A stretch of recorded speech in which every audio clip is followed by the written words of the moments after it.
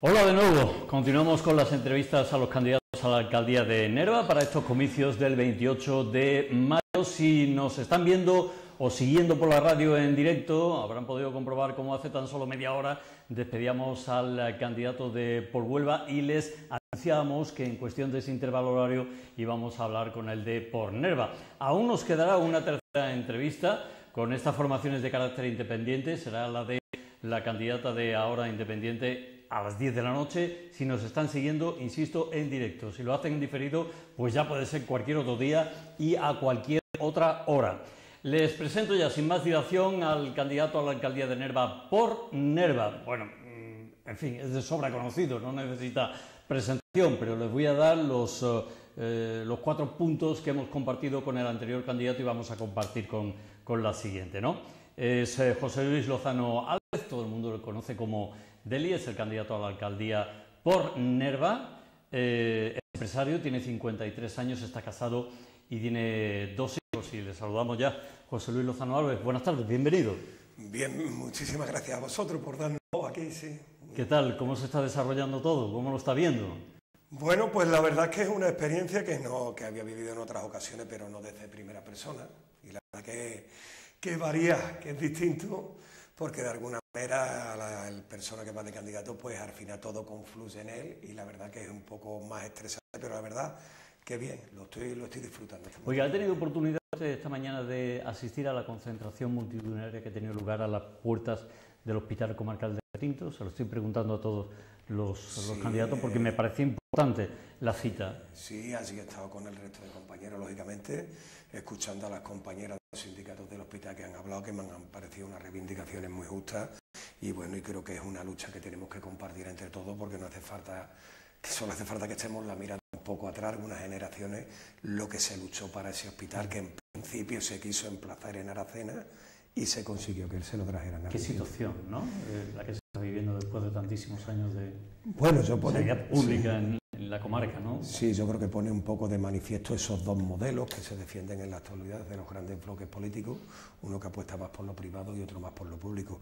Desde luego yo quiero poner de manifiesto el inmenso privilegio que supone tener este hospital a cinco minutos de nuestra casa y además atendido por unos magníficos profesionales, por gente que conocemos, que se desviven cada vez que tenemos que ir en mala hora así por ayudarnos. Yo creo que esto da una suerte.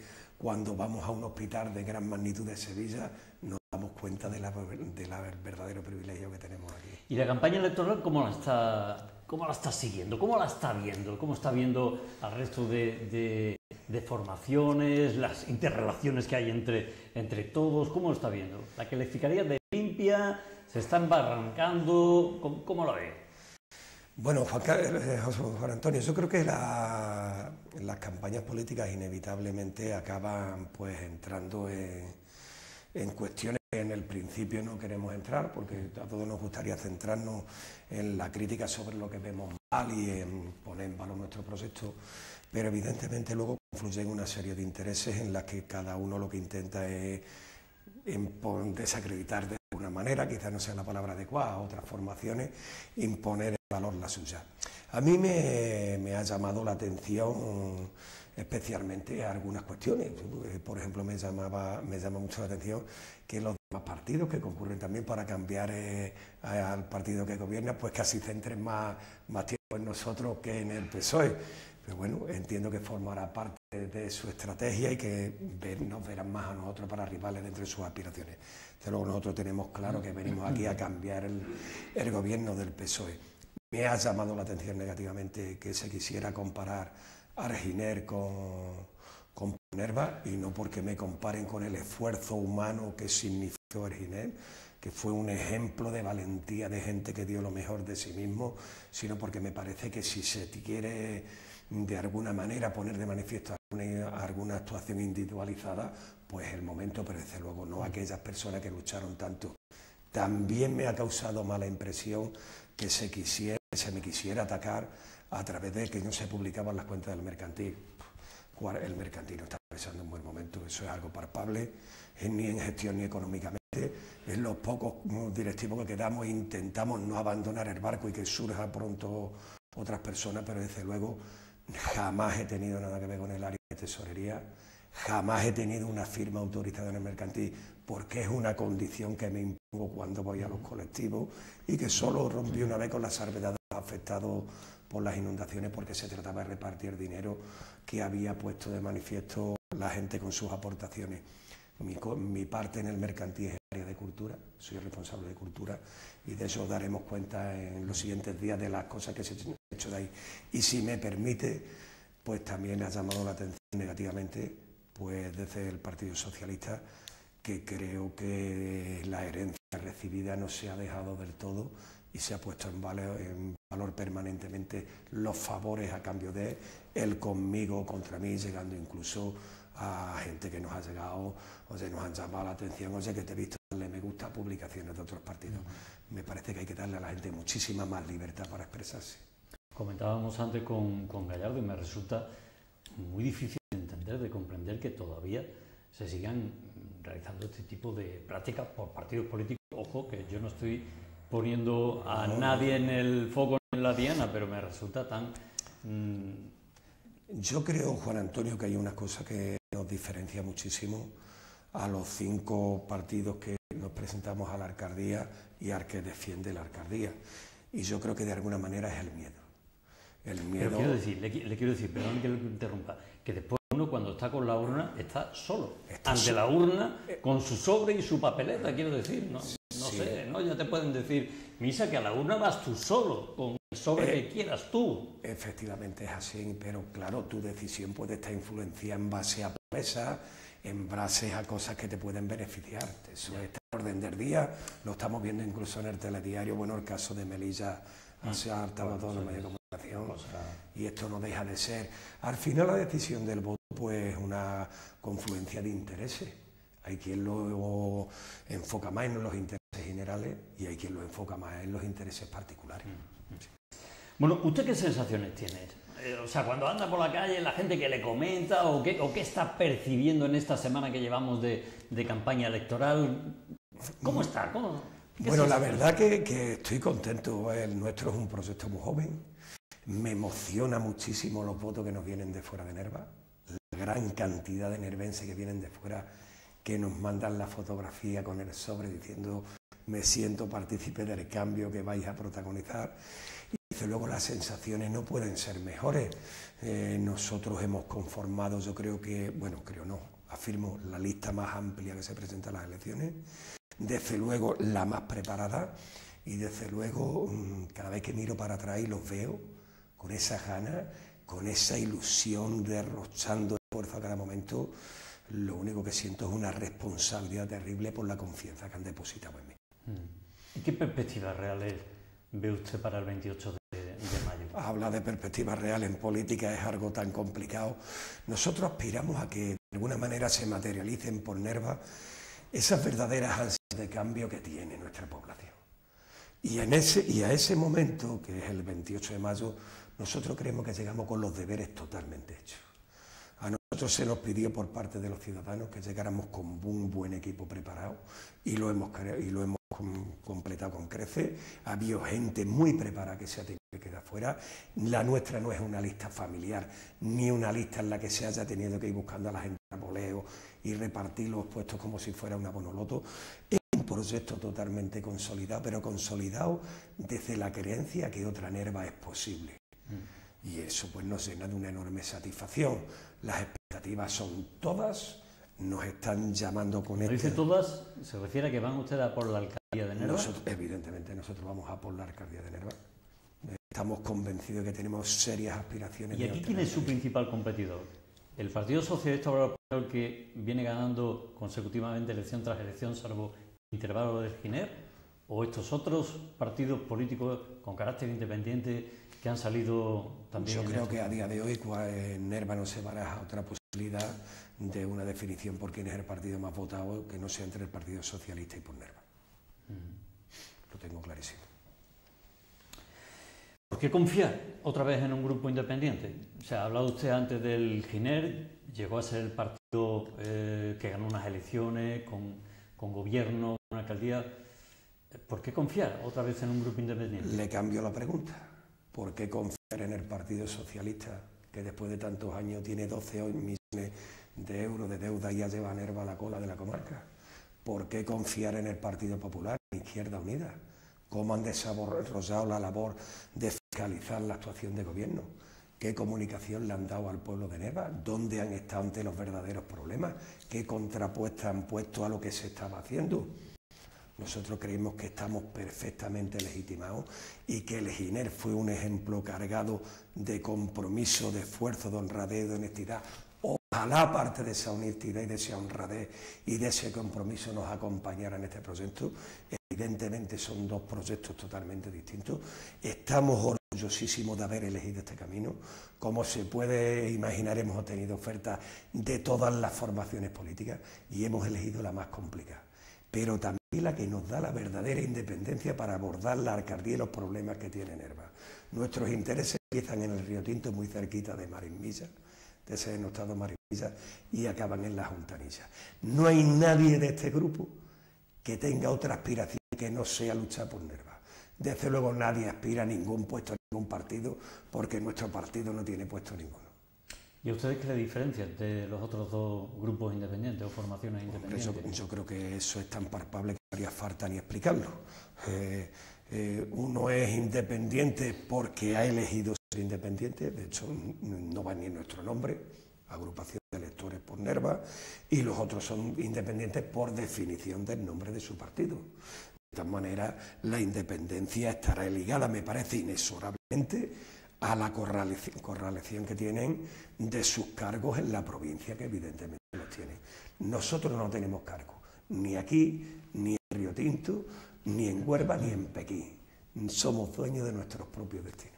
Oigan, no se escapa que van a ser las elecciones más competitivas de, pues de toda la, democracia, pero la, ley DON eh, tiene sus peculiaridades eh, con, estas seis formaciones políticas eh, aquí. En caso de que no se obtuviera mayoría absoluta por parte de ningún partido político, ¿usted sería partidario de dejar gobernar a la formación que sacara más votos? Antes de contestarle a esa pregunta, le digo que efectivamente la ley de UN es la gran aliada en este caso de las grandes formaciones, porque evidentemente yo creo que si cualquiera de las formaciones que se presentan se presentaran en un cara a cara con la actual del equipo de gobierno, creo que hubieran tenido muchas posibilidades porque el descontento en Nerva es generalizado. Sin embargo, claro, pues la aparición de cada, de cada nueva formación se ha celebrado porque supone una pérdida de votos. ¿no? Eh, ¿Yo soy partidario de dejar gobernar la lista más votada? No, en ningún caso. Yo creo que, lo, que ahora lo que se elige es lo que marca nuestro Estado democrático, que se elige a 13 representantes. Y es igual que en el Congreso de los Diputados. Y, y, esos 13 representantes son los que tienen que elegir alcalde. Así lo establece nuestra legislación. Luego entiendo que esos 13 concejales van a trasladar a la decisión que tomen, pues lo que en, su, en sus formaciones políticas han decidido y han trasladado a la ciudadanía a lo largo de esta campaña electoral. Eh, hablamos de su programa electoral, ¿le parece? Pues sí, hablamos de... ¿Qué destacaría del mismo? Bueno, lo primero que destacaría es que nos ha costado un trabajo inmenso sacarlo adelante. Jornadas interminables, eh, con la gente investigando, buscando actuaciones paralelas en otro lado. Se ha hecho con mucho mimo, con mucho esfuerzo. Eh, ¿Qué destacaría? Bueno, pues creo que en empleo sobre todo la creación del Consejo de Desarrollo Local Comarcal. No hace falta que te diga que tú y yo tenemos más o menos la misma edad, cómo se vivió aquí el plan Arbor, plan Lesquila, que no se llegaron a poner en marcha. Y yo creo que es necesario que a nivel comarcal vayamos edificando esa comarca que queremos del futuro, porque no olvidemos que la minería sin embargo nos ha demostrado a lo de los años que no es eterna. Luego creo que ahí deben de, sentarse las bases, desde luego con el ADR, eh, con el CADER, con los ayuntamientos, con las empresas implicadas de la comarca, para intentar crear ese, eh, ese tejido empresarial paralelo a la minería que amortigua y que desde luego asiente la población en nuestra tierra. Con respecto a la seguridad, creo que también es fundamental. No solo en dotar al cuerpo de policía de más efectivo y prepararlo mejor, sino en campañas contra el consumo de droga y la venta de droga que de verdad deterioran a nuestra sociedad de una manera bestial, estamos alcanzando, aquí se ha vuelto a hablar de heroína, que nosotros nos cogió aquello muy joven, mm. los años 80, que dejó una huella de muerte en el pueblo terrible. Y es muy triste volver a escuchar eso. Creo que a día de hoy la inseguridad es total. Cuatro policías, desde luego, merecen nuestro máximo reconocimiento que se hayan tenido que enfrentar a la verdadera plaga de robo y de incidencia que hay en el pueblo. Y además creo que es necesario trabajar muchísimo en campañas de concienciación con los jóvenes. Eh, muchas veces confundimos el respeto con la falta de, de responsabilidad y desde luego esto lo estamos viviendo a diario. Es, importante trabajar en ello. La salud, por ejemplo, con la exigencia del grupo Delta. No hay ningún motivo para que Nerva sea la única de las seis zonas de la Sierra Norte Andévalo que no tiene grupo Delta. En Nerva actualmente se a las poblaciones de Río Tinto, La Granada, Río Tinto, Campo Frío, El Madroño y Nerva. Casi 100 casos diarios los fines de semana con un solo equipo de emergencia. ¿Qué nervense no ha ido a una emergencia y se ha encontrado con que el médico ha salido? En Aracena, media hora de Nerva, hay dos equipos de emergencia y un grupo Delta. Yo creo que desde luego si algo no nos hemos ganado es el respeto al que al menos se nos trate con un trato igualitario con respecto a los demás. La transparencia, la cercanía. El portal de transparencia no ha funcionado, los ciudadanos se han sentido indefensos la cercanía. Nosotros proponemos un ayuntamiento con constancia presente, permanente de los concejales. Queremos plantear la posibilidad de que el ayuntamiento se abra alguna tarde para las personas que trabajan por la mañana, algún sábado. Darle una cercanía que hasta ahora, hasta este momento, no ha tenido. Oiga, me ha llamado la atención no haber visto en su programa electoral, me imagino que tendrá su explicación, negro sobre el blanco, algo sobre el medio ambiente. Sí, hombre, que el programa nuestro está Ah, bien, perfecto. La segunda parte la empezábamos hoy a repartir por Nerva. Vale, vale, ya me extraña a mí. es imposible, vamos, de que... Lo hemos dividido en dos partes, Juan Antonio, porque no nos vamos a engañar. Los, programas electorales eh, tienen unas estadísticas de lectura muy bajas entre la población y entonces lo que hemos pretendido es darlo en dos partes de forma más simplificada para hacer la lectura más amena, claro que sí, como no vaya realmente. Oiga, no sé si ha tenido tiempo de, de ver algún que otro programa electoral. Esta pregunta se la estoy haciendo a, todos. Eh, por si ven ustedes algo positivo en el resto de programas electorales, porque seguramente coincidirán en, mucho, en muchos aspectos. Yo creo que sí, que eh, yo creo, Juan Antonio, y creo que, que sobre esa base me he sustentado toda la vida. Yo creo que la gente hace sus programas electorales con la mejor intención del mundo, con, dar las pinceladas que la nerva, de la nerva que le gustaría.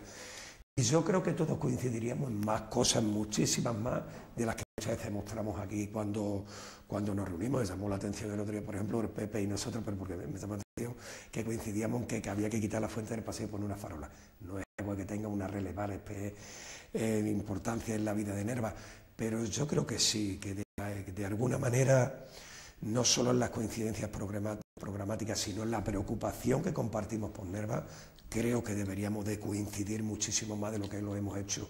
De hecho, en el debate, como bien sabes, puse que desde Nerva es nuestra intención que los 13 eh, concejales, las 13 personas que los ciudadanos de Nerva tengan responsabilidad de gobierno y que intentemos fomentar esa unidad tan importante para solventar los verdaderos problemas de Nerva. Volvería a ser histórico, ¿no? Como la primera eh, corporación por, municipal. Por nuestra parte no va a quedar. Eh, da en escalofrío hablar de 12 millones de deuda. La verdad uno se ríe de puro nervio porque, en fin, no sabe uno cómo, cómo se ha llegado a esta situación. 12 millones de, euros de deuda. ¿Esto de verdad eh, se puede levantar de alguna manera? Pues yo creo, Juan Antonio, que no solo se debe, yo creo que es obligatorio levantarlo. Y yo creo que comparto, no, no estoy aquí por criticar a la gente, simplemente yo creo que es cierto que todo esto nos deriva de cuando se implanta el vertedero. Es cierto que se crean unas instalaciones y unos servicios sobredimensionados para Nerva, y es cierto que esos servicios se mantienen, pero que luego no había contraprestaciones económicas para mantener esos servicios. Luego estamos haciendo, vamos, algo que es irrealizable. Se ha puesto sobre la mesa en los debates y es cierto aquel famoso momento en que la Junta de Andalucía rescata la tasa del vertedero para quedarse con ella. De todas las formas, yo entiendo que, que debemos de abordarlo, me parece que fue Gallardo, ¿eh? el que decía, creo que es uno de los temas de Estado, aunque estemos en una población, es de los temas de Estado que, deberíamos, que debemos de abordar desde la unidad. Cada uno, condiciona todo a la Efectivamente, cada uno ayudando en la manera en que corresponde y desde luego yendo a las administraciones no a pedir, sino exigir. Mm. Esto quiere decir que voy aquí a tu despacho.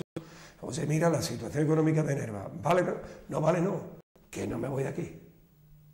Que aquí nos quedamos. Que estamos en un pueblo agobiado, asfixiado, al que nos habéis empujado con las medidas, con la implantación de un vertedero y con luego no soportar los servicios que tenemos y no nos vaya a poner entre la espada y la pared de que encima los nervenses tengan que perder los servicios que han ganado en base a su sacrificio. Que esta deuda no se sale solo. No se sale solo. Y luego también, pues, efectivamente, nos condiciona para acceder a programas, para acceder a ayuda, que podía beneficiarse muchísimo nuestro pueblo, pues en infraestructura, en puestos de trabajo, y desde luego dejar de un lado en esta situación algunas frivolidades. Mm. Lo de desde luego adelantar 11.000 euros a 10 elecciones para sufragar la campaña de peso izquierda unida del PP, me parece que desde luego es una irresponsabilidad grandísima, con 12 millones de euros de deuda y con situación de abandono y deja de que vive Nerva. Oiga, ¿usted qué relación quiere entre administración local y mina? Pues mire usted, yo creo que Nerva es un pueblo minero y que ese cerro colorado que tenemos a nuestras espaldas ha sido testigo de nuestras alegrías de nuestras penas, o sea, nuestra seña de identidad. Yo creo que tiene que haber una buena relación entre los ayuntamientos y minas, pero entiendo totalmente insuficiente la colaboración que hay ahora. Tenemos que partir la base que si no la única de las poquitas riquezas que nos quedan en nuestra tierra es lo que se está sacando ahí a pasos agigantados. Hemos visto que el Cerro Colorado ha cambiado en cinco años más que en los últimos 50. O sea, mm, la producción que se está sacando es bestial, porque la economía de mercado hoy exige una producción muy dimensionada para poder alcanzar los beneficios. Entonces hay que revisar los convenios de colaboración con la mina alta. que... Totalmente. Yo entiendo que Atalaya Mining debe una responsabilidad civil corporativa a esta comarca muchísimo más grande que la que está teniendo. Además, me parece vejatorio que Río Tinto tenga un convenio aparte de los demás pueblos. Si por algo se ha marcado y se ha definido esta comarca es por la lucha que hemos mantenido todos, hasta los niños que recuerda aquellas movilizaciones de los 80 que nos cogió siendo unos críos, con aquel conjuntamiento cerrado, con las carreteras cortas de acceso a nuestra comarca, todos nos hemos implicado, todos tenemos la misma identidad. Y cuando llegue el momento de volver a reclamar, se os va a volver a llamar a todos. Por eso no entiendo que tenga que haber un sobreprivilegio sobre algunos de los pueblos. De tal manera, desde luego, Atalaya Minin tiene desde luego que hacer una responsabilidad social corporativa muchísimo más ajustada a la riqueza que se está llevando en nuestra tierra. ¿Y la relación con el vertedero? ¿Hay que mantener algún tipo de relación? ¿Hay que mm, mantener una confrontación total? Eh, ¿Cómo sería desde su gobierno local la relación con, yo, yo entiendo, Juan, Carlos, eh, Juan Antonio, que la relación, que un ayuntamiento está obligado a una relación, a una relación con las empresas que en tu término municipal, que evidentemente no tienen que ser las tienen que ser distintas que las entidades que asociativas que se manifiesten por el cierre del vertedero. Un ayuntamiento tiene que mantener con el vertedero, con el vertedero pues la relación que mantenga con otra cualquier empresa que haya en el pueblo, siempre posicionándose, que creo que fue un gran paso adelante que quiero poner, lo he dado varias veces, lo he puesto varias veces en valor, José Antonio Ayala. José Antonio Ayala dio un paso importante desde la alcaldía de enero, posicionándose y abanderando el movimiento a favor del cierre del vertedero que antes no se había producido y yo creo que desde esa línea se debe de mantener, desde luego así se mantendrá el ayuntamiento si nosotros llegamos. Nuestra posición con respecto al vertedero creo que es sobradamente conocida. No exigimos el cierre ya, no nos conformamos con los logros alcanzados silenciados, sin haber provocado en este pueblo la menor fractura social, sin que se haya visto una pintada, un insulto, una falta de respeto a nadie, reclamando lo que consideramos justo y, respetando al que piensa distinto. A día de hoy se han sellado algunos vasos, ¿verdad?, que cormatar la mayoría. La administración autonómica ha reconocido la, actuación feudolera de la empresa y se han prohibido, legislándose, se han prohibido que vengan residuos desde fuera de nuestra comunidad. Creo que son logros importantes, mm. pero desde luego no los que anhelamos conseguir. Y evidentemente, y me gusta poner siempre esta coletilla, ese cierre tiene que conllevar dos cosas inexorablemente ligadas a unas negociaciones con la Administración. De una compensación económica que tiene que recibir Nerva, porque nos vamos a ver abocados a vivir todas las generaciones de nervenses con, millones de toneladas de los peores residuos del, mundo a 700 metros de nuestra casa y de la salvaguarda de los puestos de trabajo, que ninguna empresa venga a decirnos que eso es un problema, si aquí hemos vivido que a mil y pico de obreros de la faja política se les solucionó la vida como debía de, hacerse, ahora nos van a poner encima de la mesa que 50 trabajadores es un problema, sus problemas no, no, solo no tienen que ser un problema, sino que tienen que sentir respaldo del, del pueblo para solucionar su problema. para cerrar el tema del vertedero, em, ¿usted se pondría al lado de Fran Vázquez eh, para impedir la entrada de camiones en, en esa instalación? Juan Antonio el, me he movido durante los últimos años en el movimiento y la situación de ponernos en la puerta del vertedero para que no pasen los camiones se ha puesto muchísimas veces encima de la, encima de la mesa. La cuestión es que algunos de la gente que participamos no veíamos a la sociedad nervense lo suficiente madura para dar ese paso. ¿Por qué? Porque yo me pondría con Fran Vázquez mañana pero es efectivo que se pusieran dos personas, entendemos que tiene que ser una medida respaldada y sostenida en el tiempo. Por supuesto que me pondría. Ah, es más, creo que desde Fran Vázquez, desde Ilenia Rodríguez, desde Francisco José Gallardo, desde Raquel Desiré Rodríguez, desde José Luis Lozano, si entre todos los alentamos, conseguiremos esa unidad, esas medidas que reclaman algunos vecinos. Es que hay que ser más contundentes es cierto, seguramente lo sea, pero las actuaciones contundentes no pueden ser protagonizadas por cuatro o cinco personas, mm. porque entonces debilitan un movimiento. El movimiento que se ha llevado a cabo en contra del vertedero tiene que ser muy cuidadoso y mimando cada detalle, porque de un lado no podíamos permitirnos deteriorar la convivencia social en Nerva y del otro no podíamos debilitarlo. La acción tenía que ser medida. No es lo mismo que fuéramos toda la cantidad de gente que fuimos a Sevilla que a las 15, eh, a 15 días organizar un corte de entrada de camiones en el vertedero y ven 20 o 30 personas. Ha sido todo muy medido, intentando mimarlo mucho. Estamos terminando. Eh, el día 29 es usted alcalde de Nerva. Bueno, el alcalde de Nerva se elige en pleno el 16 o 17, si no me equivoco, por ahí, de junio. ¿eh? Lo que le quiero decir con esto, ¿cómo sería su equipo de gobierno? ¿Qué, personas eh, liderarían cada área? ¿Lo tiene, ¿Lo tiene ya meditado? ¿No se atreve todavía a meditarlo? ¿Cómo Sí, bueno, como puedes comprender, lo he estado meditando muchísimo y lo hemos, es más, yo intento que siempre todas las decisiones que tenemos sean colegiadas. Eh, pues hay personas muy definidas como Paco López, que es el jefe de mantenimiento, director, digamos, técnico del hospital, pues una persona que para obra y demás iría perfectamente encajada, ¿no? O como Juan Carlos Domínguez, que podía coger cultura, ah, educación. Hay otros aspectos que queremos ver más detenidamente y que queremos ver muchísimo después de del día 29 para ver las posibilidades a donde podemos llegar y para centrarnos perfectamente los problemas que puedan tener cada una de las áreas. Muy bien. Pues estamos terminando eh, y como estamos en campaña electoral, pues puede pedir usted el voto. Esa es eh, su cámara y ahí tiene al pueblo. Bueno, pues el día 28 tenemos una importante cita con las urnas. Eh, yo creo que cualquiera de los nervenses que se sienten en su casa y analicen lo que han sido estos cuatro años, saben que las cosas no se han hecho bien. Esa certeza la tenemos todos los nervenses. La duda ahora asiste principalmente en dos opciones. De un lado, en aceptar la enésima renovación que se nos propone, que manda, cómo presentar una renovación si defiende que las cosas se han hecho bien. Pero a optar por la enésima renovación que se nos presenta desde el PSOE o optar por uno de los demás partidos que todos, tienen todos mi respeto, que nos presentamos para gobernar el pueblo. Desde Nerva estamos sobradamente capacitados, tenemos un grupo humano preparadísimo y esta es la ocasión que Nerva se va buscando muchísimo tiempo. Yo creo que no podemos dejarla pasar. Vota por Nerva porque hasta llevamos el nombre de nuestro pueblo en el partido, el único que lo hemos logrado.